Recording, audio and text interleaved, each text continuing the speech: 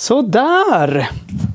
Och vi är igång, igång igen med, eh, vad ska vi säga, pirat, piratparti-intervju kanske inför valet. Um, det är ju snart ju. Gud, när är valet? 11 september. 11 september. 11 september. Ja, det är inte långt kvar nu. Det är en månad. Nästan exakt. Uh, kvar.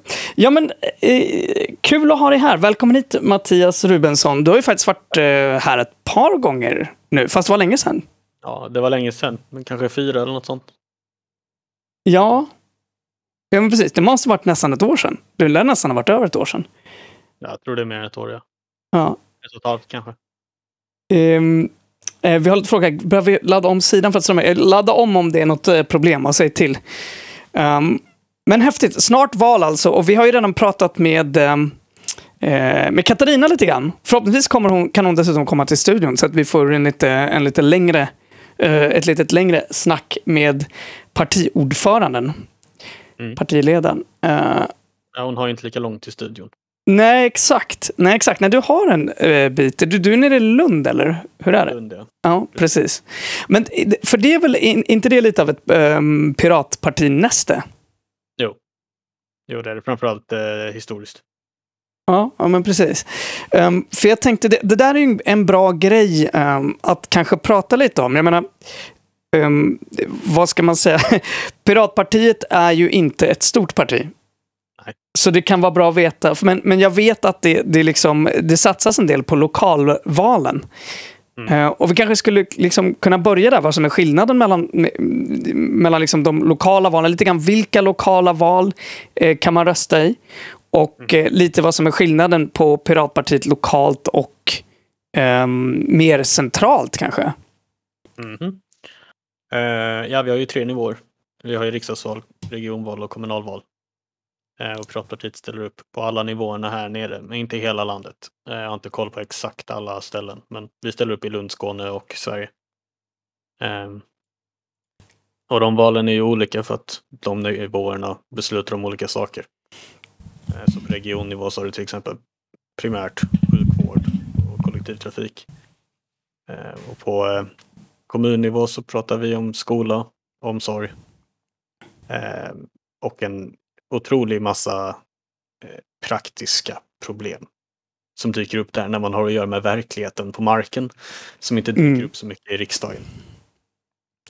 Nej men precis, jag tror det, det är ju faktiskt fortfarande förvånansvärt många som inte verkar riktigt ha någon koll på att det är eh, det är olika. Jag vet också att Piratpartiet har en del tankar om hur man skulle kunna göra göra det lite bättre kanske för folk att förstå. Alltså vi har ju bland annat haft våra kära, eh, bland annat kristdemokrater som har gnällt över vården i Stockholm och tyckt att det är förfärligt att de inte kan få sprutor och menat att det är sossarnas fel. Liksom. Eh, och det är ganska vanligt det där. Eh, kanske med framförallt regionerna. Vad, vad har ni för tankar om det där? Hur man skulle kunna göra det kanske lite mer demokratiskt och enkelt att förstå vad man röstar på? Det enklaste greppet är att separera valdagarna. Eh, så att du har, du har precis som nu val var fjärde år på alla nivåer. Men då blir det varannat år val till riksdagen och sen varannat år val till eh, kommun och region.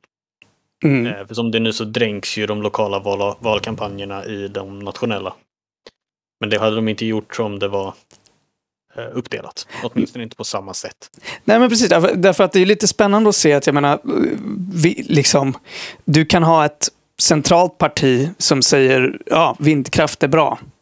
Mm. Eh, eller vindkraft är dåligt. Samtidigt som du kan lokala partier som jobbar tvärt emot eh, det.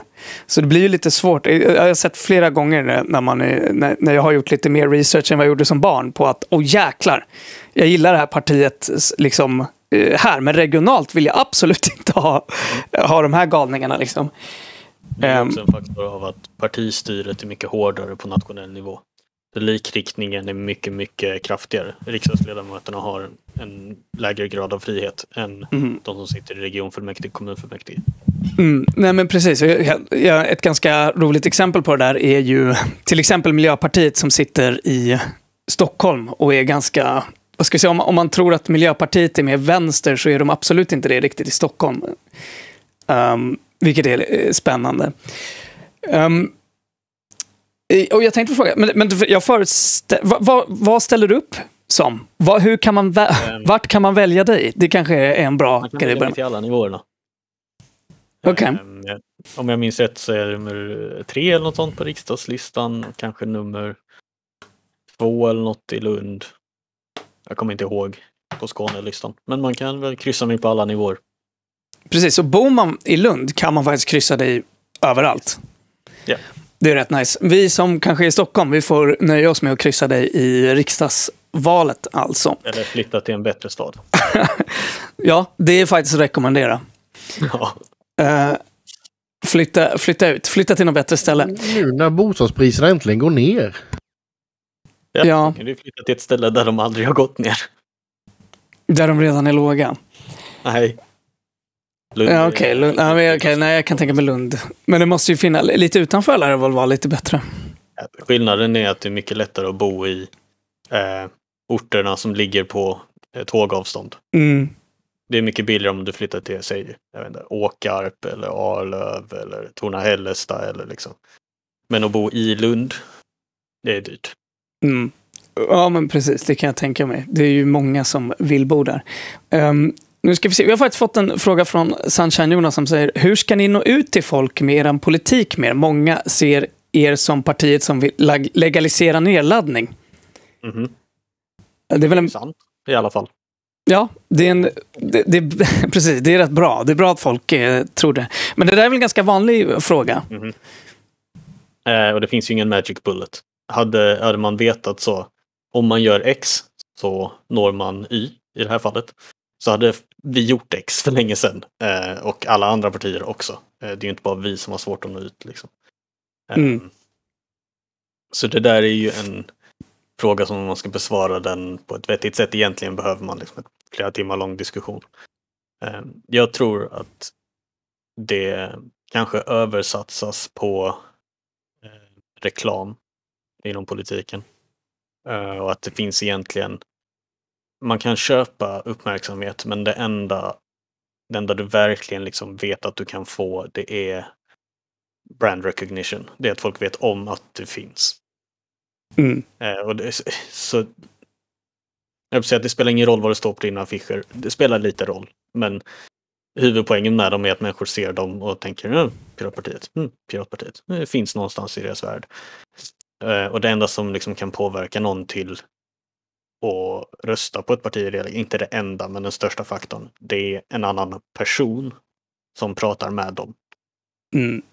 Ja. Men jag, jag, tror att det ligger mycket i det, i det där faktiskt. För, framförallt inför ett val. För att, och vi, eh, här träffar jag också på många, eftersom eh, vi är förknippade med Piratpartiet i alla fall, så är det ju många som frågar, jaha, men vad, vad hände liksom? Eller sådana där, eh, sådana där grejer. Jag tror att, som du säger, en av de där grejerna är ju bara att P Piratpartiets logga var ganska fanns nästan överallt. Det, det är typ bara sådana enkla saker som att säga äh, här finns vi. Men, ehm, men precis. Men vad skulle du säga om, om man tar det här valet och så tittar man, vad är det för slogans kanske som finns inför valet? Mm -hmm. um, vet jag inte om jag ska avslöja hemligheter här, men jag kan ju jag kan ge en hint i alla fall. Uh, det är inte jag som bestämmer längre så jag tänker inte usurpera andras Nej, precis. Jag förstår. Jag förstår. Men, eh, men eh, eh, är ju fyra. Mm. Och alla handlar någonstans om behovet av en politik som inte fokuserar på eh, floskler. Utan på hur kan vi få politisk verksamhet att faktiskt fungera liksom, i praktiken? Vad är det? Lite dyka ner i maskineriet. Eh, ingenjörsbakgrunden hos alla pirater dyker upp där. Eh, så istället för att skrika liksom ja, vi ska korta vårdköerna. Utan att svara på den uppenbara följdfrågan, ja men hur? Mm. Eh, så pratar vi om sånt som vi vet att vi kan påverka. Eh, och det är, det är liksom hur, hur den offentliga byråkratin fungerar. Så det kommer lite slogan som korruption och om slarv och fusk och lite annat sånt där. Mycket om felprioriteringar och slöseri. Mm. Ja, Så har vi väl huvudsloganen sjösätt en ny politik. Tror jag. Ja, men precis. Jag sitter faktiskt och tittar lite på, för att för er som inte vet det, jag slänger ut den i chatten för övrigt, så finns det piratpartiet.se valmanifest 2022. Just det, det är faktiskt publikt. Mm, ja, det är det. Eh, så, så där kan man faktiskt titta lite och läsa lite mer. Men man skulle kunna börja där. Mo modern demokrati är ju en av grejerna i alla fall som står här. Ehm, och ehm, där står just det, utöka möjligheter att förebygga, utreda och bekämpa korruption. Vå- Vågar du gå in mer, mer konkret i vad det skulle innebära? Eh, ja, det är ju egentligen det första verktyget handlar om öppenhet, transparens. Eh, väldigt mycket av det som, som man kan kalla korruption. I Sverige är vi ofta väldigt eh, försiktiga med att använda ordet korruption på ett annat sätt än vad man är i många delar av världen. I Sverige förstår många korruption. Det är liksom bara jag fick en miljon under bordet från SBAB för att ge dem det här kontraktet. Annars är det inte korruption. Nej. Man har ett bredare korruptionsbegrepp i många andra kretsar. Men eh, när upphandlingar och eh, beslut tas på ett öppnare sätt så finns det en mycket större möjlighet att granska dem. Eh, att följa deras historia eh, och avslöja vad som pågår. Mm. Eh, Sen är, kräver ju det att folk, det finns några aktörer som faktiskt granskar och lägger pengar på det och sen i andra ledet att i slutändan handlar det ju om att väljare straffar politiker eh, som gör fel. Mm. Ehm, Mm.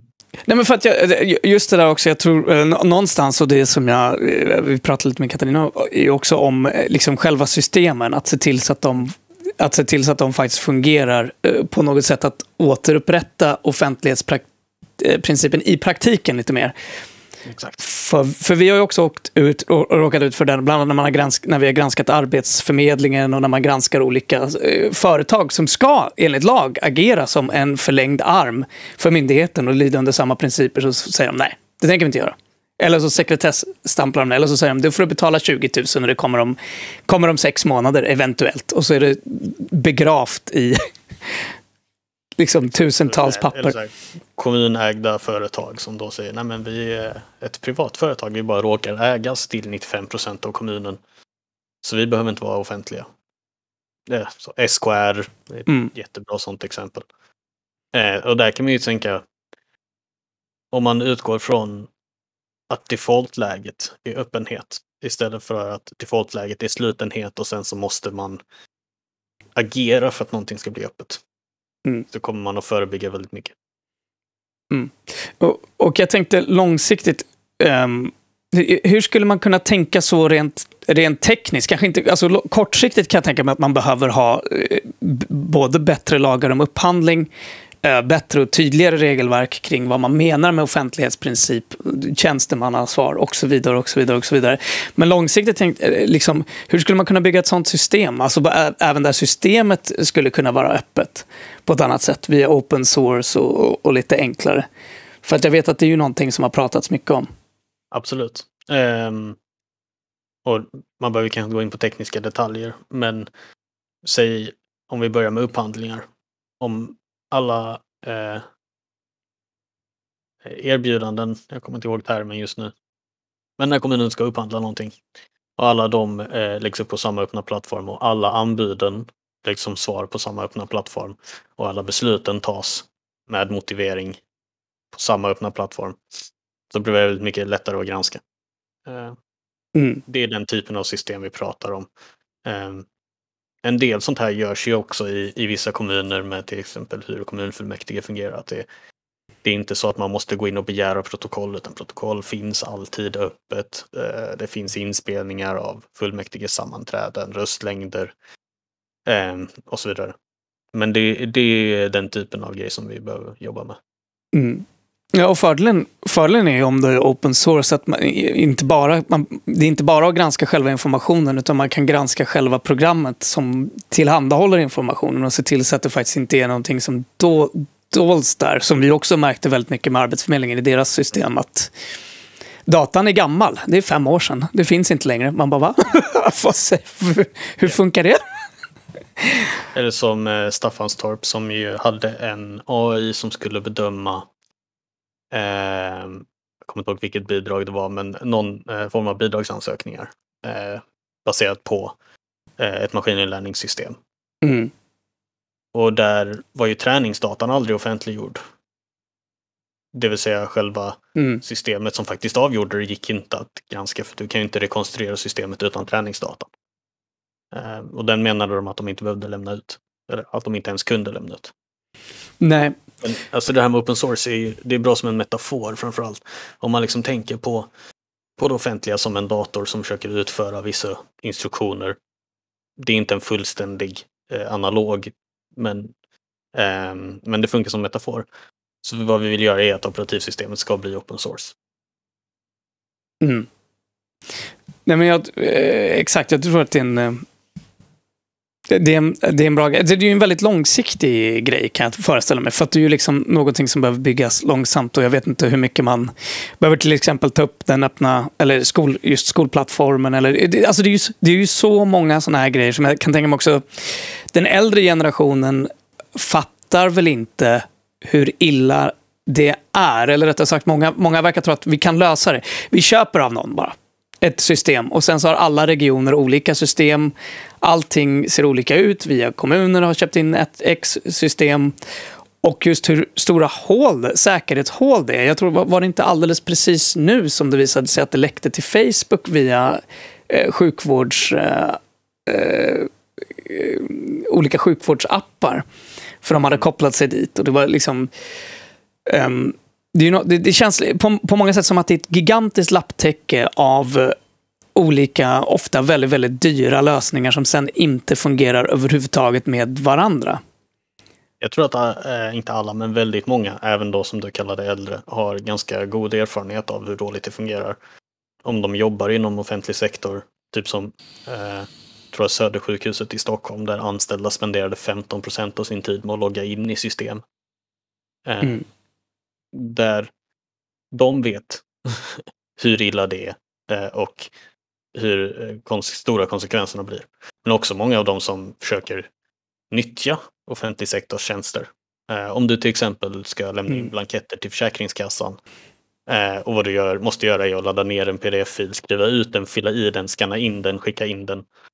Eh, inte skicka via ett webbformulär eller något sånt där liksom modernt och fint. Eh, särskilt jobbigt för då, såklart de som ska skicka in samma blankett varje månad likadant alltid. Liksom.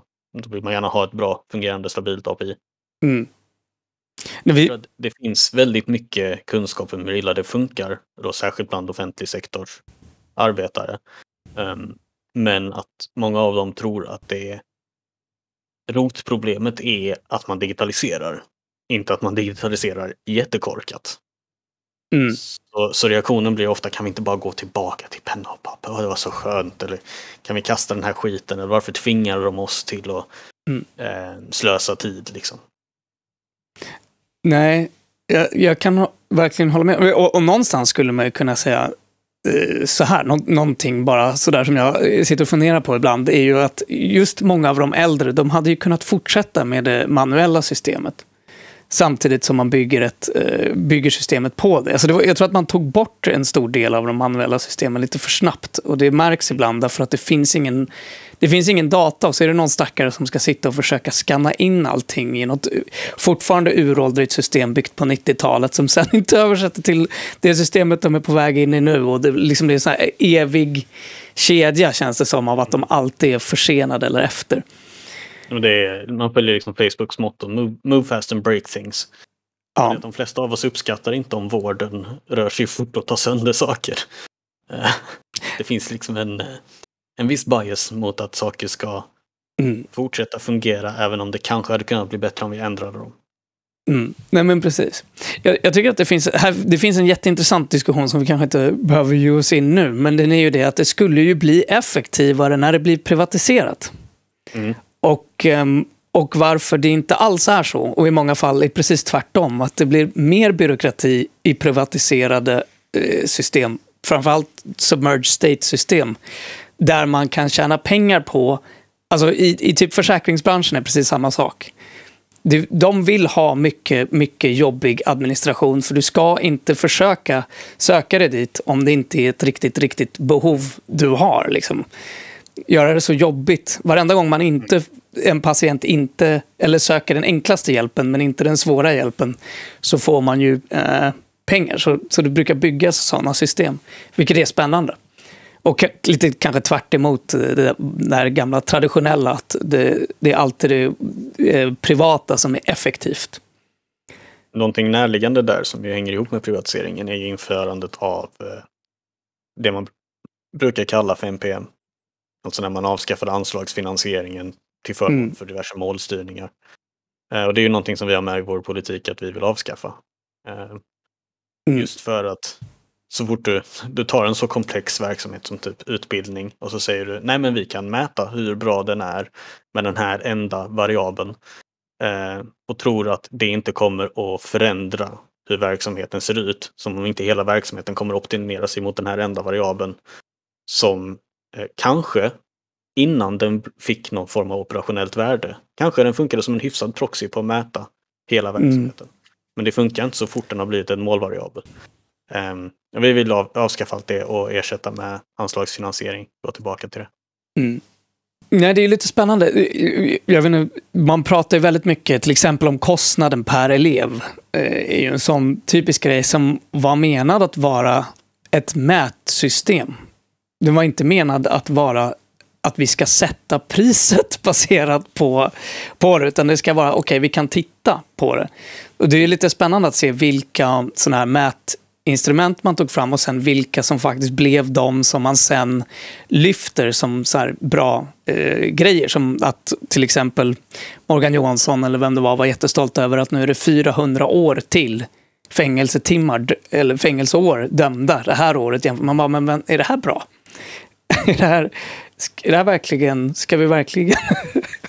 Har vi inte förlorat oss i någon form av abstraktion nu och glömt bort verkligheten? Ja men verkligen. Och ehm, jag kommer ihåg precis samma när vi just kontaktade Arbetsförmedlingen så, så skickade de till oss um, vi ville veta hur många svetsare som hade fått IV-diplom. Och det vi fick reda på, den statistiken de hade var hur många som hade lämnat Arbetsförmedlingen. Det vill säga hur många de menade hade fått jobb via Arbetsförmedlingen. Okej, För det var... fått jobb och varit inskrivna. Ja, eller egentligen lämnat Arbetsförmedlingen. Ja, men precis. Som ja. var inskrivna. Och som, nu, och som nu inte behöver vara inskrivna. Och det ser ju då de som en vinst. Men det kan ju lika gärna vara att de har gått över till någonting. Alltså det, det är väldigt eh, farligt. Och det var den statistiken de hade. Det var deras statistikchef som bara, här kommer den. Man bara, okej, what? Jag brukar säga det, det är farligt att mäta. Jag har liksom som ett eget ordspråk, jag vet inte om jag har hört det någon annanstans ifrån, men mm. eh, att, att man blir vad man mäter. Mm. För att hård data triumferar på något sätt alltid. Att, att det blir liksom det man förhåller sig till. Även om man försöker att tänka utanför den ramen så måste man hela tiden förhålla sig till hård data. Så måste man, varje gång man mäter någonting i en organisation så måste man fundera på hur påverkar det oss om vi vet det här? Eh, för man, man förändrar sitt beteende utifrån vilken data man har. Om den data man har är antal fängelsetimmar, ja, då kommer man förändra sitt beteende för att påverka det. Mm. Och det är kanske inte den, det vi vill att våra eh, myndigheter ska syssla med, att maximera antalet fängelsetimmar. Nej, det är åtminstone någonting att vara väldigt... Eh, det, det är kanske ingenting man ska vara stolt över direkt. Nej. Nej det, känns som ett, det känns som ett eh, misstag. Det känns som att mycket har gått fel innan man ska vara stolt över det numret. Ja, och även med sånt som är mer intuitivt rimligt att vara stolt över. Typ så antal godkända elever. Mm. Eh, men det är ju inte att de är godkända som egentligen är det vi bryr oss om. Nej. Så, ja. Det är farligt med saker. Ja, nej, men precis. Och det där är, har blivit ett jätteproblem i Sverige. Just nu, jag tror de flesta följer att det går mycket dåligt för väldigt många elever. Som verkligen inte har tillräckligt med kunskap. Men fantastiska betyg har de fått. Och mm. Och vilket driver, fortsätter att driva en, en, uh, vår skola i problem. Det, och det är väl en bra uh, övergång kanske till lite, mm. uh, skol, lite mer skol och utbildningspolitik och vad Piratpartiet mm. tänker där. Mm. Ehm, Jag tänker kanske nästan också specifikt också på resurser till skolan. mhm, mm. Eh, jo, vi har ju vår politik att resursfördelning till skolan ska utgå från skolans ansvar och behov. Ehm, jag tror att det är formuleringen i alla fall. Eh, och vad det egentligen syftar på är ju att du eh, ibland får en situation där kommunala skolor och privata skolor har samma finansiering men olika uppdrag i praktiken.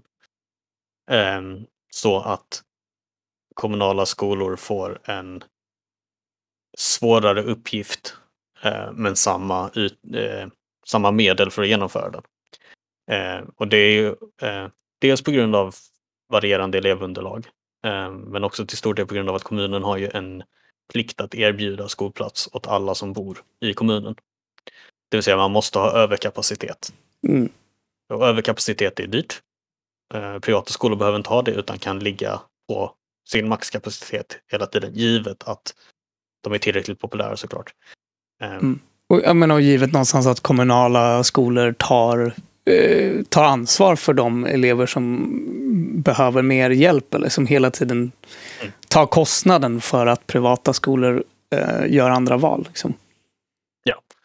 Eh, det, det är en av de saker vi tittar på. Eh, vi har diskuterat ehm, det finns flera varianter av att försöka vikta skolpengen. Ehm, så en sak, och det, sån här är det ju såklart alltid sånt som man måste utreda och titta på empiriska exempel och grejer med en utredningstjänst på riktigt liksom och inte bara sitta och fundera lite i sin kammare som man ju gör som ideell politiker. Ehm, men om du till exempel tar skolpengen och säger att nej, men eh, alla elever är inte lika dyra i drift. Så eh, om du har eh, elever med en viss typ av problem eller med som kommer från en, en viss bak, typ av bakgrund, typ invandrare som har saknar kunskaper i svenska eller har sämre svenska kunskaper, ehm, så ska du få mer pengar för att hantera dem. Mm. Det är en variant. Nej, jag, jag, jag, det där är en väldigt viktig, det där är en väldigt viktig poäng. Det, det, och jag, eh, kom, jag det var bara i dagarna som jag pratade med, med eh, en läkare, men det är ju lite samma, samma grej. Att de är liksom, det finns någon typ av stolthet av att de har strömlinjat antalet platser på på den här och den här avdelningen. Och man bara, men det är ju, va- varför det? det? Just att ha en överkapacitet och inte satsa på att man ska gå med vinst någonstans för att vinsten här är ju naturligtvis att folk kan få vård eller bra utbildning eller åtminstone en trygg och stabil utbildning och kanske inte någon som bara stänger ner mitt i för att de inte hade tillräckligt med elever. Det är ju en sån sak som vi har diskuterat också, att införa en typ av, eh, ska man säga, en pre-commitment. Eh, att om du vill eh, driva privatskola så måste du lägga in tillräckligt mycket pengar för att driva den i x antal år framåt. Mm. Vilket innebär att eh, en kommun inte kan råka ut för situationen att man, man budgeterar med platser, och, alltså, lokaler och lärare och grejer utifrån rådande elevunderlag som varit stabilt ett tag och sen så väljer någon privatskola plötsligt mitt under en termin att säga nej skit, vi lägger ner den här skiten. Mm. Eh, och så måste man eh, ta in en, ett par hundra elever kanske eller så. Och plötsligt har man inte lokaler, plötsligt har man inte lärare. Men man har en plikt så man måste lösa det. Eh, Mm. Den typen av situationer så kan man vilja undvika på det sättet. Nej, bra. Vi, vi har en fråga från, eh, från chatten. Den är väl lite mer teknisk eh, i viss mån. När offentlig verksamhet utförs i privat regi med offentliga medel bör inte offentlighetsprincipen gälla dem. Annars minskar ju insynen som helhet eh, ju mer som privatiseras. Jo, jättebra poäng. Och det är så att det ska gälla också. Det är precis så de här kontrakten är utformade och lagarna kring det här är utformat. Problemet är att man inte följer lagarna och det finns ingen som bryr sig om att bolag inte följer lagarna. För det finns egentligen inget straff för att inte följa lagen. Och sen så, tricka, eh, så trixar man med det genom att säga nej men det här görs inte, inte av då, säg skolbolaget utan av det här bolaget som Mm. äger lokalerna som vi hyr dem av. Eh, som råkar ägas av samma personer. Eh, som inte gör ett uppdrag i offentlig regi utan är ju bara ett privat företag på den öppna marknaden. Mm. Nej, men precis. Och det där är ju... Det där är ett jätteproblem när man sålde bara för att ta, jag vet inte hur man, det där är också svårt att se hur man skulle kunna lösa, men när man sålde ut uh, skolorna så sålde man ut lokalerna. För man, var, man, var duck, man var smart på att se till så att man sålde ut på ett sätt som gör det nästan omöjligt att Ja. kommunalisera skolor igen genom att sälja ut uh, lokalerna, alltså uh, allmän egendom framför allt. Och sen då som du säger bilda ett företag som äger dem ofta och, och ett annat som sen ska bedriva verksamheten och sen kan man skyffla pengarna från verksamheten in i då, eh, bolag, eh, bostadsbolagen istället.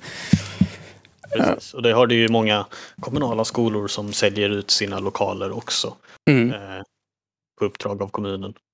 Där kan man ju ofta fundera på motivet. Ehm, känner jag i alla fall. Det är helt uppenbart att vi, kommer bedriva skola här under överskådlig framtid. Det är en uppenbar fördel att också äga våra lokaler. Mm. Nej, men precis. Um, ska vi se. Okej, okay, säger ge mig uppdraget att bedriva akuten eh, på sjukhuset. Jag kommer ha 100% effektivitet och över 100% vinst, alla får nackskott. Sedan debiterar man familjen för kulan. Okay. Uh, precis, där har, vi, där har vi den ultimata lö- framtidslösningen. Jag vill eh, dröja kvar lite här vid den Mm. här diskussionen också rörande eh, effektivitet, effektivitet på golvet i olika offentliga verksamheter. En sak man stöter på, åtminstone har jag gjort när man pratar med människor som jobbar inom offentlig sektor, är ju ofta eh, en bild av att cheferna inte har en aning om vad man sysslar med. Eh, Mm. Och att de kanske inte styr verksamheten eh, utifrån vad som händer på golvet. Eh, och vi har i vår politik att eh, du som ska vara chef inom eh, en myndighet ska ha erfarenhet av det praktiska arbetet på myndigheten i åtminstone ett år. Mm. Det är liksom en låg tröskel, men det är åtminstone en liten, liten tröskel för att försöka hindra den här typen av rekrytering från sidan av människor som är professionella chefer tillsätts på politiska meriter eller liksom som någon form av karriärsteg. Eh, Mm. och bara rullar in och domderar utan någon förståelse för vad man sysslar med. Nej. Nej, det där är en jätteviktig grej och kanske inte så uppenbar direkt för alla, men, men det där är ju en sån... eh, Det där är ett problem även, liksom, även i den privata marknaden, hur, hur, hur den ser ut och utformad just nu, är att ägarna premieras specifikt och väldigt, väldigt, väldigt tungt hela tiden. Och deras intressen är de enda som eh, förs vidare ner i leden. Och då tar man in chefer som är experter på att tillha- tillhandahålla de, de finansiella värden från, eh, från ägarna. Ofta med väldigt, väldigt lite kunskap om organisationen i sig självt. Som du påpekar. Precis, men också det att du, om du som ägare då inte har någon förståelse för vad man sysslar med ehm, så om du ska tillsätta en chef och har att välja mellan en okarismatisk person från verksamheten och en karismatisk person utifrån så, så är det kanske lätt att bli lurad. Mm. Det tror jag är en, en viktig faktor bakom varför det ofta känns som offentlig sektor blir lurad att köpa in vindyra tjänster eller här konsultfirmor som säljer in den nya eh, fortbildning, så här, geniala fortbildningen, skicka alla läkarna på den här eh, yogavandringen så kommer de att bli 10% effektivare. Mm. Nej, men precis. Det är att man bara inte har någon kunskap om området. Mm.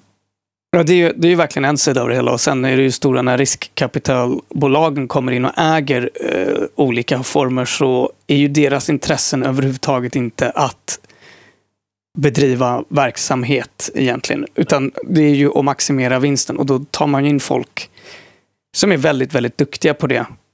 Precis. Och då är det ju dessutom när det är den typen av bolag då pratar vi ju inte vinst från verksamheten utan vinst från att sälja vidare företaget. Mm. Så det man sysslar med är egentligen värderingar. Eh, Och det är ju supertydligt om man typ tittar på sig Discord. Mm. Discord gör ju i princip ingen vinst på sin verksamhet. Nej. Discord drivs för att ha en hög värdering. Likadant med massa, massa andra företag. Mm. Ja, och det, här är ju en jättespännande diskussion hur, hur marknaden har förändrats ifrån att egentligen bedriva tjänst, alltså någon form av både produkter och, och tjänster som verkligen egentligen hjälper folk till att fokusera på data eh, och fokusera på att hålla värde via en aktiekurs. Ehm, jag vet inte, vi, vi, farligt att flytta iväg det där, men det är en väldigt, det är en väldigt intressant eh, diskussion. Jag menar också hur, hur, det har, hur det har påverkats av att man trycker ganska mycket pengar, eller skapar ganska mycket pengar. Alltså, mm. När man trycker ut så mycket pengar i, i en aktiemarknad, vad det gör med bolagen som finns där, när aktiekursen är det enda riktiga sättet att tjäna pengar på. Mm. Mm. Lite som vi pratade om innan, med det du mäter påverkar vad du gör. Ja, absolut. Och, eh, och pengar är ju tråkigt nog en av de absolut enklaste sätten att mäta ett företag på. Mm. Så det blir ju väldigt naturligt. Yes. Um, jag tänkte jag tänkte prata, fortsätta och bara, för att jag, jag själv är väldigt glad över den här. Lite, det, det, står ganska mycket om en dynamisk arbetsmarknad, men kanske framförallt grunden i ett nytt trygghetssystem för alla bör vara en basinkomst. Vi vill mm. genomföra ett pilotförsök i större skala. Mm. Är det någonting du skulle... Nu tar jag lite vilt här, jag vet inte riktigt vad det är ja, du... Det, det är lugnt, hoppa, hoppa fritt. Uh, mm. uh, ja, uh, jag vill, vill du att jag förklarar vad vi menar med basinkomst? Ja, ja men det hade väl varit bra. Ehm, generellt sett så kan man väl säga det att när folk hör basinkomst så tänker de okej, okay, x kronor till alla medborgare varje månad. Och det är inte riktigt vad vi menar. vad vi menar med basinkomst är att det finns ett golv för inkomster. Så att eh, vi pratar ju om existensminimum i Sverige. Och vad vi vill är att ta det på allvar och säga att okej, okay, det finns ett existensminimum. Så vi garanterar alla medborgare minst existensminimum. Eh, vad nu den normen råkar vara. Liksom. För tillfället är det väl typ så 8 500. Den blir väl justerad upp med inflationen nästa år. Men eh, mm. den exakta siffran är ju inte så intressant. Men vi pratar existensminimum. Eh, och sättet vi vill göra det på är då att dina, eh, du börjar med din basinkomst. Och sen så räknas den ner i takt med att du tjänar pengar. Det vill säga, du kanske har en basinkomst. Nu... Oj, nu hoppade videon bort där. Men vi hör dig fortfarande ja. tror jag. Ja, okej, okay, nu ska vi se. Um... Förlåt, jag ska lösa det. Var det datorn som gick och la sig? Eh, ja, precis. Den fick ett litet, eh, ett litet anfall där. Eh, så. Eh, ja, ska vi se, var var jag någonstans? Mitt i basinkomsten. Just det, precis. mm. Eh, exakt. Så du, du, har basinkomst och sen så kanske du får en, en liten deltidstjänst och då börjar tjäna lite egna pengar. Då är det inte så att basinkomsten försvinner direkt. Utan den trappas av långsamt i takt med att du börjar tjäna egna, egna pengar. Mm. Nedtrappningen är alltså inte 100 procent, så det är inte så att om du tjänar en krona blir du av med en krona. Utan eh, 50 procent kanske. Den exakta siffran får man ju titta på. Det eh, påverkar ju hur mycket systemet kostar rätt mycket. Mm. Ja, men det där är en viktig poäng. För, må för många, det finns ju många som argumenterar mot basinkomst, men en av de stora är att det kommer ju ingen vilja jobba, för de kommer inte tjäna pengar på att jobba istället. så. Mm. Och det är ju, alltså, om du verkligen vill i Sverige så kan du idag leva på socialbidrag på existensminimumnivå.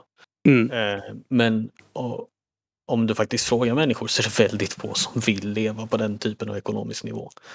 Eh, och vad vårt förslag, ett, en av eh, målsättningarna med det är just att öka incitamenten till ehm, att kunna gå ifrån bidrag till egna inkomster.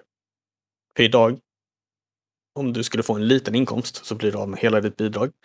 Eh, och även om du kanske skulle tjäna lite mer pengar än vad du tidigare hade bidrag så blir det till en investering av tid som gör att det inte är värt det. Mm. Eh, för tid, tid är också liksom en ekonomisk resurs. Eh, det, det, finns många som det brukar kallas för bidragsfällan. Att, så, du kan inte ta något jobb för att då blir du av med alla pengarna. Ehm, men i mm. vårt system så kommer du alltid eh, att tjäna på att jobba oavsett situation. Mm. Ja, det är ju egentligen som du säger, det, det, det som är roligt med det är ju att det är egentligen en väldigt enkel lösning eftersom om du har en avklingande trappa så att säga av det bidraget som du får då, eller av basinkomsten som du får, så tjänar du alltid mer eh, på att eh, jobba. Men det, och det kommer aldrig den här, det blir aldrig någon form av hård det blir inte något hårt slag i ansiktet. Liksom. Och det, du känner även på att jobba deltid eller jobba, jobba lite, alltid, alltid, alltid bättre. Och det, det, det är också särskilt i situationer där du alltså en deltidstjänst kanske det oftast kan gå över till från bidrag. Men eh, om det är jobb av typen oh, timmar här, timmar där, eh, helger. Eh, Mm. Den typen av små jobb som också är osäkra i tid Mm. eh, är svårare att ta om du går på bidrag. Mm. Så, och det är också en faktor i, du sa att det här är en väldigt enkel lösning. Det är också en anledning till att vi föreslår den. Eh, alla systemen runt trygghet här är otroligt komplicerade.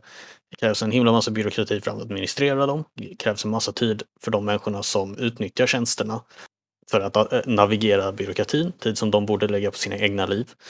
Eh, vårt system är mycket, mycket enklare, mycket rakare. Förutsättningarna är tydligare och enklare för alla. Mm.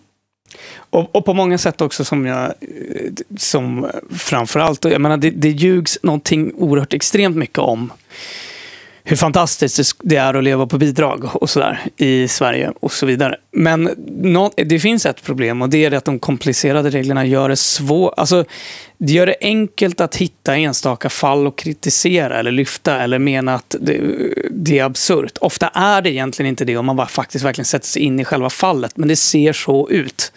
Mm. Och um, det, det, ur någon form av rättviseperspektiv blir det väl enklare kanske, får man hoppas, eh, även där och se vad det är som händer. Precis. Ja, men exakt. Och med vårt system så vet man vad, vad som har... Man vet ju inte alltid exakt vad som har hänt, för det kan ju ha hänt någonting konstigt i ett enskilt fall, men man vet vad som borde ha hänt. Det är Mm. liksom inte en diskussionsfråga. Ehm, och jag, eh, jag tror att en anledning till att det pratas mycket om hur skönt det skulle vara att leva på bidrag, ehm, det kommer ur två källor. Dels i många fall unga människor som kanske lever på bidrag, ofta typ CSN, eh, Mm. som ju är ungefär i nivå med det vi föreslår att ha som basinkomst. Som säger det är ju jätteenkelt. Och kanske inte funderar på det här med att det är väldigt få som vill bo i korridorsrum hela sina liv. Mm. Eh, De flesta människor har någon gång någon vision om att typ skaffa barn, kanske ha en partner att bo med, eh, få plats med en hel säng i sitt hem. eh, Mm. och så vidare. Man kanske vill kunna gå på bio mer än en gång i månaden. Man kanske inte vill leva på nudlar. Eh, De flesta människor prioriterar det så pass mycket att man inte skulle vilja sluta jobba. Nej. Nej, absolut. Och Jag menar, jag tror att det är bra, bra att lyfta, för det är ju väldigt många som hamnar, hamnar i det. Vi går ju till de stora städerna idag går det ju faktiskt inte ens att få det livet, även ens om du jobbar med någonting vanligt. Utan du måste ju komma upp i en lön som är närmare, vad ska vi säga, 50 till 70 000. Eh, Och det För att kunna bo. en faktor där att kan- om, om det är så att folk väljer att leva på bidrag i det läget så kanske det säger mer om det övriga samhället än om bidragssystemet. Mm. Ja, det är en väldigt viktig poäng. Den, men det är, en, det är en poäng som jag tror är svår att få folk att förstå ibland. Men rättviseaspekten tror jag är, Mm. eh, är viktig. Jag, jag ser någonting annat här som jag tycker är... Eh, själv är, eh, pratar vi om det ganska mycket på PTV i alla fall. Eh, ge små fackföreningar samma möjlighet att representera och förhandla för sina medlemmar som det stora. Jag vet inte om det, du är rätt eh, person att expandera lite på det där. Ehm, inte fullt ut, men jag kan ge åtminstone en aspekt av det som jag tror är det man syftar på här. Ehm, och det är ju det här att du, i Sverige så har du det fackförbund som är störst på arbetsplatsen har rätt att organisera eller förhandla för alla anställda. Eller? Mm. Jo. Precis. Och, det har väl drabbat framför allt eh, hamnarbetarna i Göteborg som Mm. omfattas av kollektivavtal som de inte är part till förhandlingen om. Nej, Precis. Och, och då även har fredsplikt. exakt. Precis. Ehm, så det är den regeln som man liksom tar sikte på. Mm. Piratpartiet gillar ju hela tiden att liksom bryta ner sådana här eh, centraliserade monoliter. Eh, Mm. Och det bygger ju hela Sveriges arbetsmarknadspolitik på. Så där vill vi liksom trasa sönder en hel del. Mm. Ja, ja vi, vi har ju som tur är SAC här ofta som eh, kommer och pratar.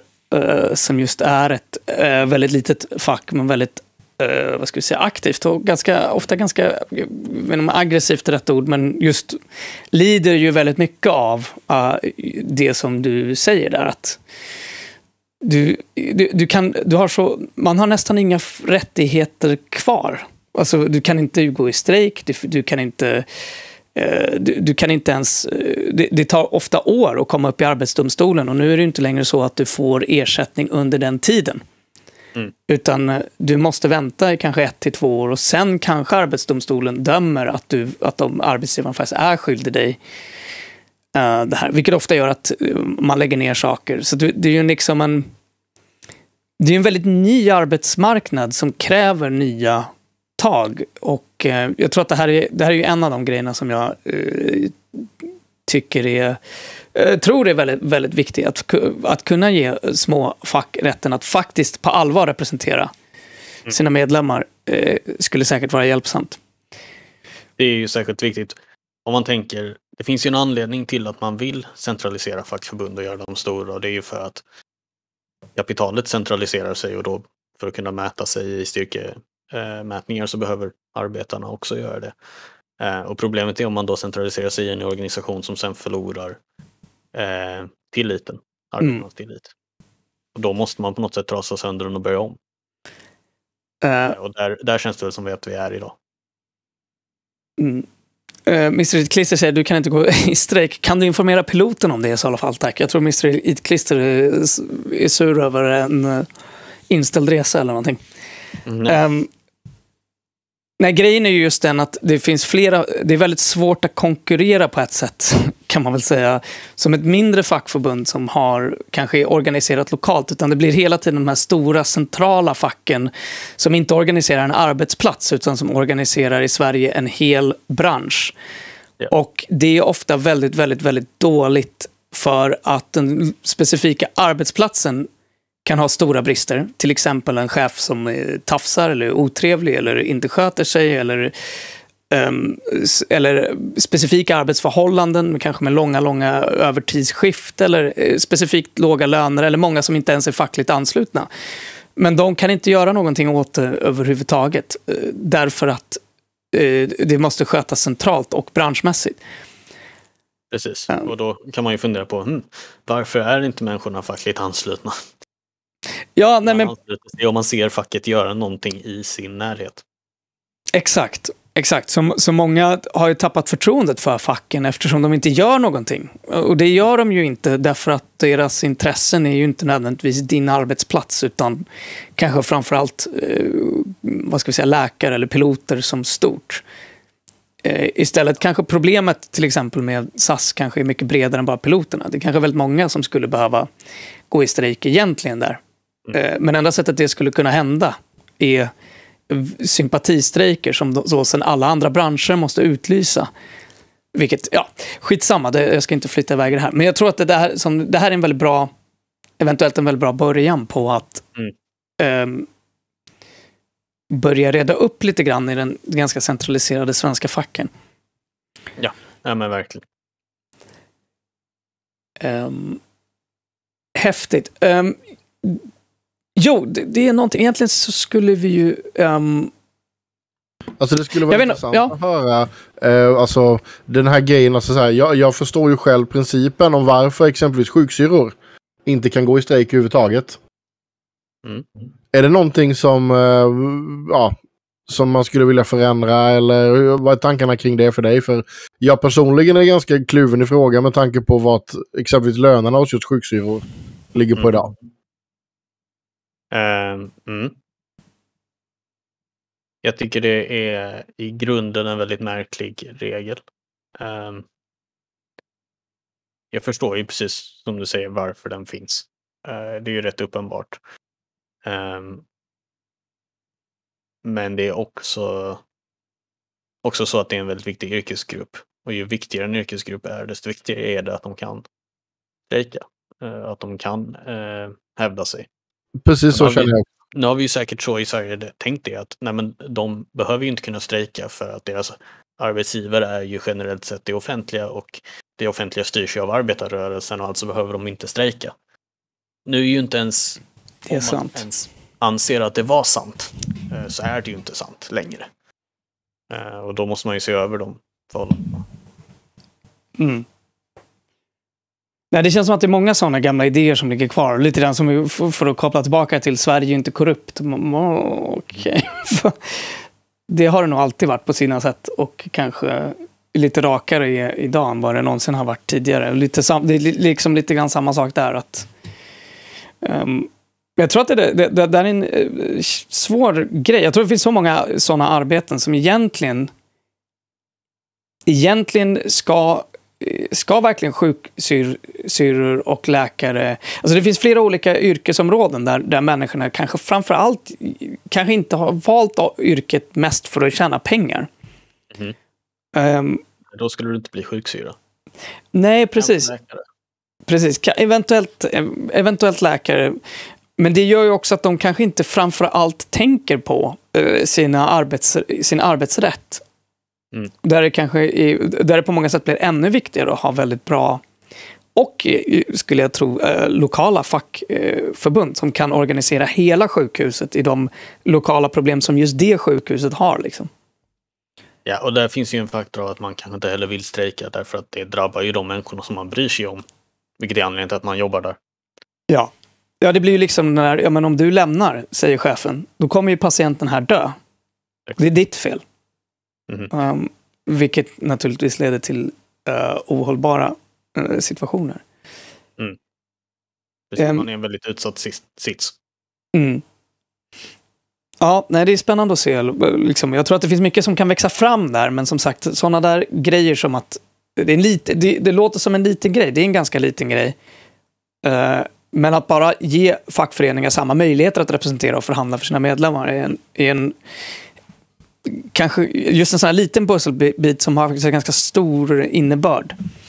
Det är också frågan vad man kan göra från eh, det centrala politiska hållet. Mm. Om, om vi går in och säger nej men vi ska ju ha fler eh, fackförbund så eh, vi de, eh, säger per dekret att nu ska det här finnas där och detta ska finnas där och vi tillsätter de här ledarna. Eh, har någonting då blivit bättre? Eh, mm. Troligen inte, utan vad, vad, vi kan göra från politiskt håll är ju eh, dels att styra förutsättningarna för bildandet av fackförbund och deras ageranden. Mm. Och dels att eh, styra eh, hur vi behandlar de anställda inom den verksamhet som organiseras av det offentliga. Mm. Till exempel mycket av vården som organiseras av regionen. Och där behöver man kanske titta på eh, prioriteringar. Ja, Um, jag tänkte hoppa vidare. Ska man kanske, jag vill vända på en fråga också. Om, om du skulle liksom säga vilka frågor är du brinner för och tycker är intressanta? Alltså om du fick välja kanske tre frågor där du känner, ah, det här. Um, absolut. Jag är väldigt intresserad av eh, IT inom offentlig sektor. Um, och inte egentligen på detaljnivå utan i strategin. Um, som jag var inne på innan i början, att när man som arbetar i offentlig sektor stöter på dåligt fungerande IT så är det lätt att tänka, ja, varför håller vi på och digitaliserar?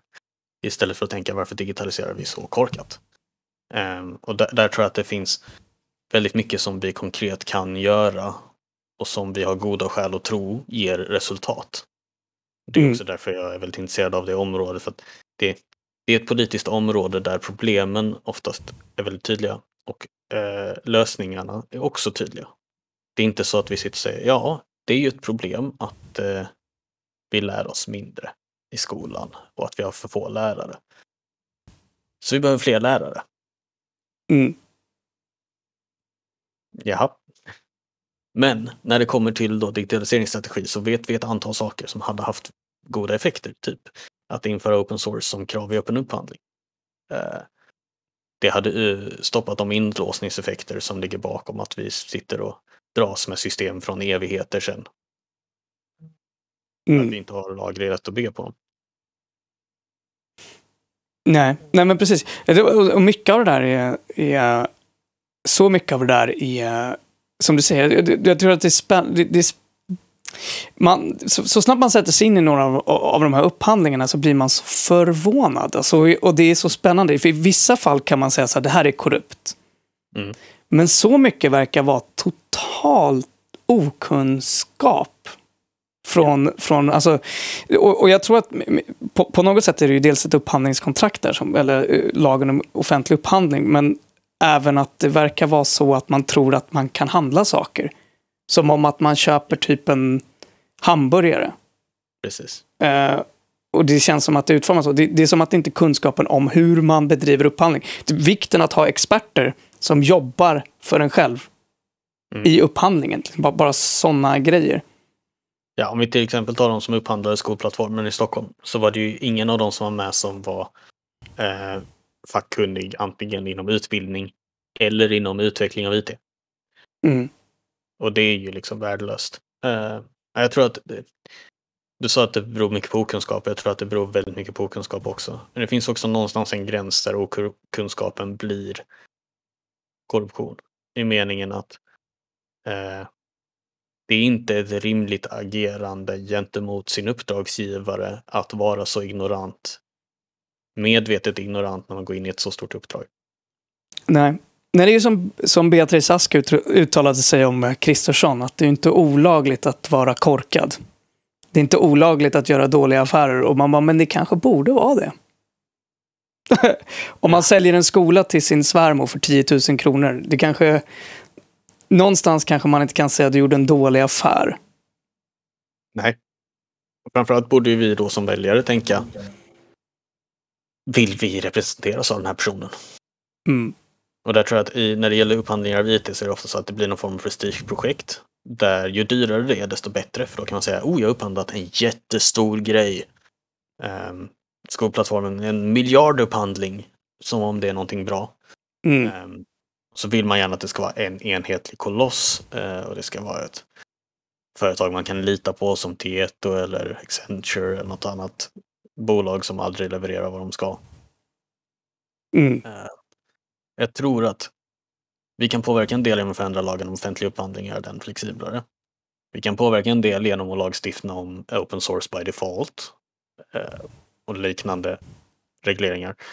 Men någonstans måste vi eh, få strategin och attityden till det hela att filtrera ner i den faktiska, eh, faktiska styret. Det mm. märktes ju också i Stockholm när politikerna till slut blev liksom pressade att oj, shit, folk är upprörda, vi måste göra någonting och inte, fortfarande inte riktigt visste vad de skulle göra åt situationen. Men då satt ju eh, ansvariga tjänstemän emot. Och där, det är ju ett resultat av en attityd, en strategi som sipprar neråt i organisationen. Mm. Nej, så är det ju. Jag, jag tänker bara på Alltså problemet med många av de här grejerna är ju den att, som du säger, alltså jag tror att där har du en väldigt viktig poäng. Alltså det är väldigt, väldigt viktigt att man tänker på, på organisationen, hur de här sakerna ska se ut, vilka typer av kompetenser man måste ha för att göra vissa upphandlingar och att man har dem på sin sida, inte via en konsult. Mm. Utan att du, du, måste ha de här kompetenserna här uh, för att göra den här typen av uh, upphandling. För problemet blir ju lite väl uh, på något sätt alltid att det här är inte, no, ingen är intresserad av det här. Mm. Det går liksom inte att göra en nyhet som får klick om det här. Alltså skolplattformen är ju unik, men just eftersom det var så befängt dåligt och eftersom det kom i folks händer, om vi säger så. Det var någonting som föräldrarna själva kunde se hur illa det funkade. Um, men mycket av upphandlingarna ser inte ut så. Det blev ju en större nyhet först när staden valde att stämma öppna skolplattformen. Ja, och där, där, har det ju liksom nått en absurd nivå som är absurd. Men om vi tar egentligen en värre upphandling som den eh, Region Skåne och Västra Götaland har gjort av journalsystem från Cerner, är jag rätt säker på att de heter. Den kostade mellan 3 och 4 miljarder någonting. Eh, och de fick kontrakt på fem år att leverera journalsystem. De har inte levererat något journalsystem och de kommer inte att göra det. Det är fem miljarder i sjön liksom. Ja. Ehm, um, Fulings fråga, tjänstemannaansvar. Det finns med här uh, ett återinföring av tjänstemannaansvaret. Uh, jag, en grej som jag vill fråga som jag, som jag inte ser, men jag har inte läst igenom det här så noggrant, är ju, kanske, är ju också göra det straffbart för bolag att, hålla, att bedriva eh, eh, bidragsbedrägeri eller, för, eh, eller bedra staten. Jag vet att det har funnits eh, um, det, det, det, är lite det här som, som Beatrice Ask sa där också, att det är inte olagligt. Alltså att göra vissa av de här sakerna olagliga. Alltså att just mm. uh, hitta sätt man kan göra det på. Framför allt vad det gäller bidragsbedrägeri. Vilket är ganska vanligt att bolag håller på med. Det vill säga att man säger att man ska göra någonting men, och man får pengar och betalt för att göra någonting. Mm. Uh, men man gör det inte. Um, för det är ju också, delvis är det en uppföljning men delvis är det en brist på att faktiskt, det, det värsta som kan hända är egentligen ingenting. Därför att de kommer in, en, för att SKR kommer inte säga upp ett, av, ett aktivt avtal. De gör extremt sällan det, därför att det är väldigt komplicerat att säga upp avtal. Så i många fall är de inlåsta, de har en enorm inlåsningseffekt och ingen möjlighet att på något sätt egentligen bestraffa eh, bolaget som inte har skött sig. Handlar ju också om en ovilja att faktiskt rättsligt agera. Mm. Att eh, mm. stämma företag som inte levererar vad de ska. Mm. Nej, och, det är ju ändå ett kontraktsbrott. Ja, det, är, det är det absolut. Vi har ju sett flera sådana. Eh, men det är svårt för mig. Jag, jag, tänker ofta på det där, just eh, lite som vi sa, att man har inte, orga, man har inte en organisationell eller in, personell... Det finns inte personer med erfarenhet. Det finns kanske framförallt inte personer som är specifikt fokuserade på att faktiskt vara de som är ute och ser till att det blir gjort. Arbetsförmedlingen till exempel ska göra det, men gör det inte. Mm. Um, och det är kanske inte så konstigt om många där som jobbar lite högt uppsatt vet att det ska privatiseras ännu mer. Och det är något av de här tre bolagen som får existera på marknaden som kommer ta över. Så är det ju liksom... Ex-. Ja, exakt. Så är det ju liksom incitamenten att faktiskt utreda är ju extremt låga. Det är ju ehm. SKR just, alltså verkligen en, just genom sin konstruktion ett jätteproblem eftersom den fullständigt saknar transparens. Mm. Men ändå tar sig rätten att agera i kommunerna och regionernas namn. Mm. Trots att den är helt liksom, odemokratiskt förankrad och då kommunerna som vars namn den agerar i har inte ens själva fullständig insyn. Nej. Den här SKR behöver, eh, behöver utrotas. Mm, ja, men spännande, lite tankar om det. Jag tänkte eh, någonting annat, om du fick välja en till grej sådär som det här är, tycker jag är kul. Mm. Ehm, då, jag tycker det är kul att titta på hur, hur organisationer fungerar och hur de påverkas av, av sina ledningsprocesser. Vi har ju varit inne på det här med hur chefer tillsätts eh, och att vi vill att de kommer underifrån istället för ovanifrån. Eh, men också det här med eh, att ha ett ledarskap som inte bygger på mätning och kontroll utan på tillit. Eh, och jag, jag, jag, träffar väldigt mycket lärare. Av någon anledning så känner jag mycket lärare. Jag bor i Lund. Det var inget. eh, och någonting som är gemensamt är att allihop klagar på mätningssystem. I princip. Mm. Alla klagar på kontrollsystem. Eh, och man klagar på frånvarande ledning. Eh, ofta har du en rektor som är rektor för många skolor. Kanske aldrig i princip ens är på plats på din skola. Eh, och det, det leder ju till en situation där den rektorn behöver mätningen och kontrollen för den har inte den tillräckligt personliga relationen till verksamheten och de som faktiskt utför verksamheten som behövs för ett tillitsbaserat ledarskap. Mm. Och det där, det där är en sån sak som fascinerar mig och som jag tror att um, vi kan förändra rätt mycket inom offentlig sektor om vi förändrar hur vi styr den. Eh, och det, vi har skrivit någonstans, i, jag tror det är vår skolpolitik, låt lärare vara lärare. Eh, och det handlar ju just om att flytta mycket av deras kontrollroller och mycket av deras mätuppgifter. Eh, I den mån de ska finnas kvar, flytta bort dem. Men framförallt, ha bort dem. Låt dem vara lärare och om de säger eh, att undervisningen ser ut så här, Okej, okay, då ser det nog ut så. Mm. Om de säger att en elev behöver särskilt stöd så är det ganska bra grund. Mm. Jag menar specifikt eftersom vi har väldigt, också väldigt utbildade lärare. Alltså det är inte den enklaste saken att bli. Eh, det kanske man lätt tror, men det är ju ganska fel. Eh, I de flesta fall. Jag, jag tänker en annan grej, bara en helt, eh, en helt vild grej här. Mm. Va, vad tror du skulle hända om man om eh, till exempel skolor eh, fick eh, rösta fram sina chefer. Alltså, eller åtminstone hade, en väldigt, hade själva input i vem som skulle bli rektor. Du menar eh, de anställda på skolan? Precis. Ja, ja det, det är någonting som jag är väldigt sympatiskt inställd till. Eh, också någonting som eh, gynnar tillit i ledarskapet. Du känner genast mycket mer tillit till en ledare som du själv varit med och åtminstone godkänt. Mm. Eh, om en inte liksom valt på egen hand. Eh, och där, alltså, det ultimata är ju någonstans oftast att man rekryterar underifrån. Så eh, någon av lärarna på skolan blir rektorn. Mm. Sen blir någon av rektorerna i området skolchef. Någon av dem blir utbildningschef och jag kommer inte ihåg de exakta hierarkierna men att man bevarar den kopplingen neråt. Mm. Nej, jag, jag håller med. Jag tror att den är, den är jätteviktig.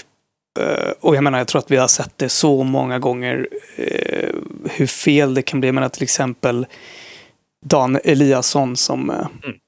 bara tittar på vad han har gjort inom polisen. Eller nästan hela hans gärning verkar ju vara ha gått in och tagit hundhuvudet för en förändring som folk har velat driva igenom ovanifrån. Men för att det blir en slags tröghet i ett sånt system också, när politiker vill göra X men du har någon som har jobbat på skolan Y, så kommer det finnas... Eh, det kommer, de kommer förstå varför man inte kan göra någonting. Och kommer kunna vara mycket, mycket duktigare på att säga nej eller ja fast på det här sättet. Eh, Precis. Eh, och Dan Eliasson, även Även utan att uttala sig om de specifika sakerna han gjort eller hans specifika kompetenser som jag helt ärligt inte vet. Så är det omöjligt att någon har specifik kompetens om så vitt skilda områden som de har varit chef för. Nej.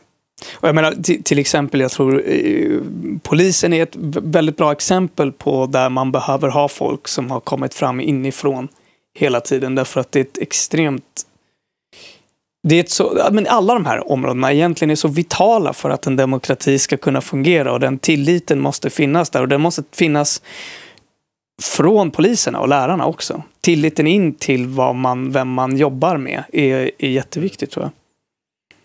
Och där eh, har vi, vi har separerat lite i, i vår politik, så vi pratar om generaldirektörer och sen pratar vi om övriga chefer. Så övriga chefer måste ha minst ett års praktisk erfarenhet. Eh, Medan generaldirektörer tillsätts ju för att genomföra eh, ett politiskt uppdrag. Mm. Egentligen. Eh, och det tycker vi att de ska. Men vi tycker att de ska godkännas av riksdagen. Eh, så eh, jag kollar exakt vilken nivå det var vi sa. Eh, ja, precis. Eh, en majoritet i riksdagen måste eh, godkänna varje utnämning till generaldirektör. Och tanken med det är att det ska vara svårt att tillsätta någon som eh, uppenbart saknar kompetens om området. Eller som uppenbart bara är en eh, politiker som ska sättas på Elefantkyrkogården. Mm. Det är en person som måste vinna förtroende även hos riksdagen. I en situation med minoritetsregeringar så kommer det bli väldigt svårt att driva igenom eh, rent, rent politisk, om ni förstår vad jag menar, eh, myndighetsstyrning. Mm. Um, Precis, främjar det att man plockar in extern kompetens som generaldirektör. Mm. Um, men häftigt, vi har snackat i nästan en timme och jag tror att det är ungefär så långt som vi ska köra. Är det, är det någonting mer som du jag vet inte, någon, någon uppmaning eller några, några liksom allmänna valtankar? Mm. Um, jag tycker man känner jag hör ofta när jag pratar med människor att ah, jag vet inte vad jag ska rösta på. Ah, det finns egentligen ingenting jag vill rösta på. Eh, vad är minst dåligt? Pest eller kolera? Eller liksom tankar av det slaget. Lite så här uppgivet nästan. Politiskt nihilistiskt. Eh, och jag vill bara uppmana människor att om man känner så så är det bästa att själv gå in i politiken. Och man behöver inte kandidera i val. Men man behöver eh, göra någonting för att förändra hur vårt land styrs. Eh, jag har valt att typ försöka göra det genom att engagera mig i ett eh, parti utanför riksdagen. Man kan välja något som är i riksdagen eller i kommunen eller så. Mm. Eh, som man känner passar en eller där man känner någon som man har lite förtroende för. Eh, jag tycker inte om de andra partierna, men även de blir bättre om de får en större folklig förankring. Så mm. demokratin är för viktig för att vi bara ska acceptera nihilism runt den, utan det är eh, om man totalt saknar förtroende för hela, liksom, hela spektrumet av alternativ så behöver man försöka förändra alternativen. Mm. Nej, det är en väldigt viktig poäng. Och um, påminner mig lite om det som uh, just uh, också SAC säger. Uh, mycket att demokratin, alltså va, själva valet är liksom det är många som tror att det är demokratin, men det är det inte. Man har en demokratiskt ansvar, eller en rättighet, möjlighet. Men kanske ett ansvar att, att faktiskt eh, inte sitta och, och vara alldeles... I, i, om man blir för uppgiven så kan man se vad, man, vad kan man göra, vad kan man hjälpa till med, vad kan man förändra? Eller sitta och, man behöver inte sitta och skrika på, på Twitter alldeles för mycket. Utan... Tar man någon person som man känner som man faktiskt har förtroende för och försöker mm. övertala den personen att ställa upp i val. Vi har en ganska bra sista fråga här som, jag, som kanske, vi har två frågor som lite grann hör ihop känner jag nu. Ett är vilket kandidatnummer har Otto? Det kanske Otto kan svara på. Fem. Fem. Enkel femma. Mm. Han, så det är så, alltså en femma. Mm, jag trodde du sa vem först. Jag bara what? Okej. Okay. Um, men fem alltså. Ert program innehåller legalisering av cannabis. Det här är den, sen frågan. Um, Tror ni, och, och, ja, den går inte till det Roto. Ert program innehåller legalisering av cannabis. Tror ni att det skrämmer bort potentiella väljare från de mer traditionella partikretsarna? Eh, menar personen då traditionella partikretsar för Piratpartiet eller personer som tillhör de traditionella partierna? Jag skulle tolka det som personer som tillhör de traditionella partierna. Okay. Mm. Eh, ja, det skrämmer säkert bort jättemånga människor. Um, människor är duktiga på att bli skrämda av det okända. Eh. Alltså, jag, jag, tror att av de frågorna som skrämmer den typen av människor som blir rädda för legalisering så är nog legalisering inte den mest kontroversiella frågan vi har. Eh, ja, det, det, kanske stämmer. Eh, jag stöter rätt ofta på eh, människor som säger att jag sympatiserar hyfsat med Piratpartiet men jag kan inte acceptera en legalisering. Sen brukar jag diskutera lite med vi brukar prata om reglering snarare än legalisering ofta. Och vinsterna med en reglerad cannabismarknad och riskerna. Viktigt, det, det finns vissa risker och det är viktigt att vara ärlig med dem. Mm. Eh, och så får man en lite jo, mer nyanserad bild. Eh, men det finns definitivt många som skräms. Eh, men om man som parti försöker tilltala 100% av väljarkåren så kommer man väldigt snabbt att bli parti helt utan politik. Och så kommer man tilltala 0% av väljarkåren. Eh, vi har försökt lite i partiets historia att försöka tilltala större grupper och det leder ofta till att man tilltalar en mindre grupp. Mm. Särskilt i ett stadie där partiet kanske har stöd av 0,2 procent eller något sånt. Mm. Eh, 0,3 kanske. Då är det mycket viktigare att tilltala 1 procent så att man kan få en kärntrupp. Sen kan man tilltala 3 procent och 5 procent. Mm. Ja, och, och någonstans måste ju, poängen med partier måste ju vara att man driver sin politik, inte att man, inte att man driver runt. Liksom. För alltså, om, man, om man tror på någonting och man, man vet att det här är någonting som faktiskt eh, är bra, jag menar open source, det är klart att det inte skrämmer bort.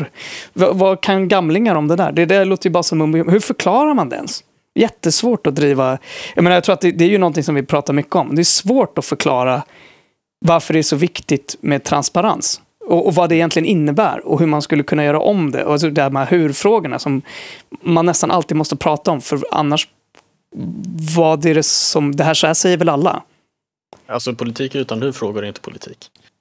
Uh, mm. Jag brukar eh, mäta politiska budskap med två enkla tester och det är inte-testet och hur-testet.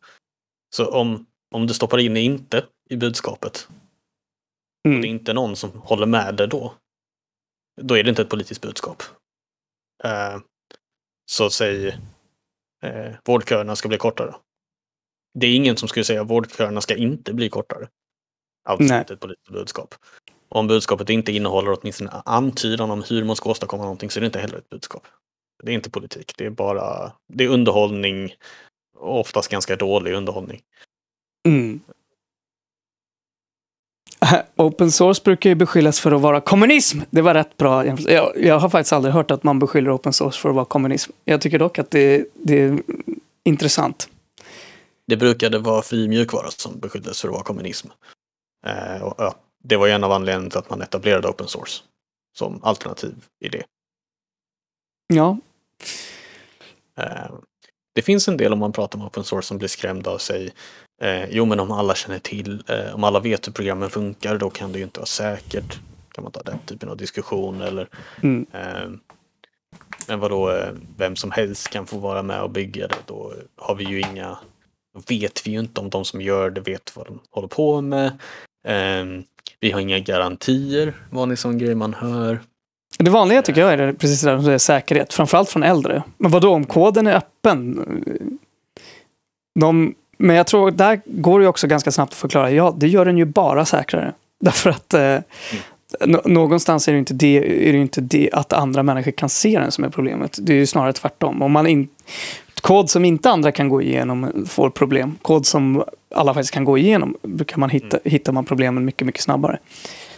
Jag brukar tänka att när man försöker förklara fördelarna eh, med tankesättet open source eller då, eh, fri mjukvara att, inom offentlig sektor. Eh, att prata om hur man kan, hur det gör att man kan utvecklas över tid. Så mm. istället för att man köper in ett statiskt system år 2000 som fungerar så som det gör och vars underhållskostnader bara ökar. Eh, inte kan modifieras när verksamheten förändras, inte kan förbättras efter feedback från användarna, ingenting liksom. Istället så kan man få ett system som är dynamiskt där ja, men det här företaget som brukade jobba med utvecklare, de, vi har inte förtroende för dem längre. Ta något annat företag. Kodbasen kan vem som helst egentligen jobba med så det är inget problem att forka den. Mm. Eh, en konkurrent till de som just nu har det kan till och med i, i liksom någon form av hypotetiskt scenario eh, forka eh, hur det funkar idag, bygga ett alternativ och säga kolla, mm. vad mycket bättre vi har gjort det. Och det vore ju jättebra för det offentliga. Eh, mm. Men det är också en situation där då olika kommuner och regioner kan kopiera varandras system och kan samarbeta om att utveckla dem. Men det kan också anpassas lokalt. Så vi kan använda eh, samma journalsystem som alla andra sjukhus. Fast just hos oss så vill jag ha en liten förändring och så upphandlar vi en lokal förändring mm. eh, på ett sätt som man inte kan idag. Nej, precis. Nej, det, det som jag, jag tänker att det eventuellt skulle... Alltså det som det också på något sätt kräver är ju lite grann det som du pratade om tidigare, vilket jag tycker är bra med det. Därför att det kräver att kunskapen finns. Alltså någonstans måste kod, kodbasen ägs gemensamt och de som är, du måste ha människor som är ansvariga för kodbasen, har koll på kodbasen, som är anställda eh, direkt av dig. Du, och det, det, är ju någonting som jag bara tror är positivt. Alltså oavsett vilka som ska jobba på kod basen måste, du ha kunskap. Man måste anställa en, en ledare, minst en, mm. som har samma roll som Torvalds. Mm, precis. Um, uh, nu ska vi se, man säger det förutsätter att folk med välvilja kollar igenom koden och inte bara hackers. Ja. Ja, Både ja. Alltså, grejen är ju den med, med själva kodbasen är ju att det är inte kodbasen som är problemet om man har säkerhet. Alltså, det är klart att det är koden som är problemet, men att folk kan titta på kodbasen är ju inte det stora, är ju inte det stora problemet, om man säger så.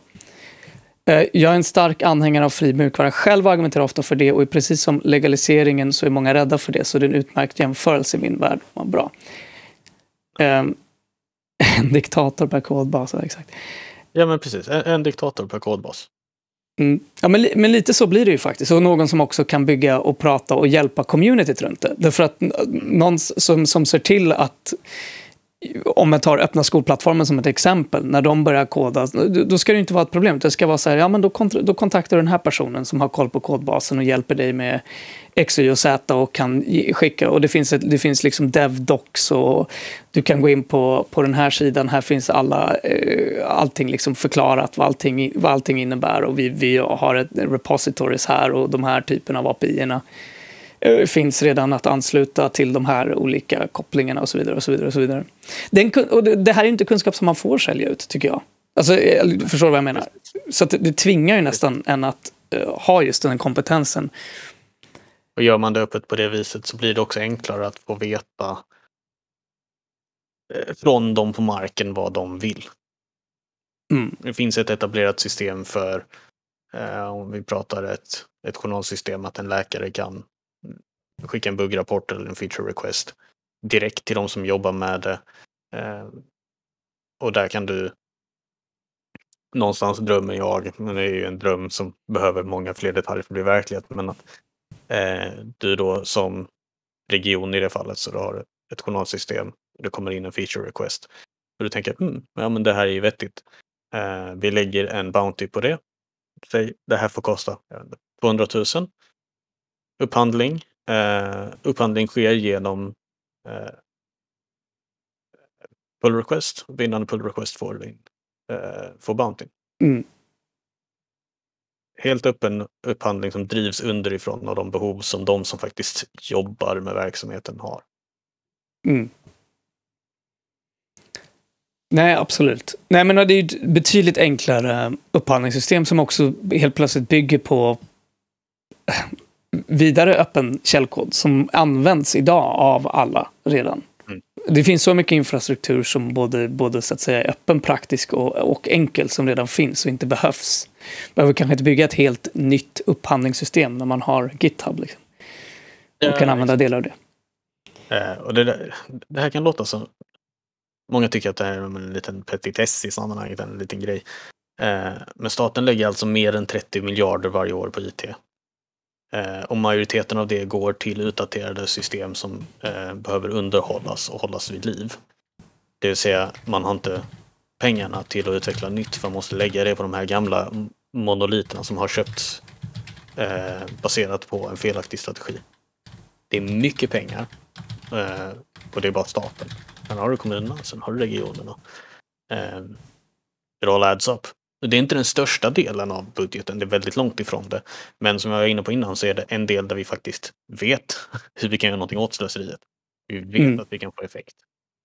Vi har liksom en, en plan och det är inte bara en plan som vi kastar ur oss så att vi måste ha en plan, utan den kommer få effekt. Mm. Men bra, super.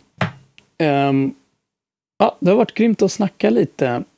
Mm. Eh, och eh, ja, vi kommer ju komma tillbaka med flera, tror jag, fler kandidater från Piratpartiet innan valet. Jag tror till och med redan nästa onsdag, om jag inte helt är borta. Någon gång, någon gång nästa vecka. Mm. I alla fall. Men det har varit grymt att prata med dig, eh, Mattias. Tack så jättemycket. Mm. Och Um, och vi kommer tillbaka alldeles strax här med en lite mer vanlig sen PTV-sändning. Så häng kvar på det. Vi är tillbaka om en kvart skulle jag tro. Hej då!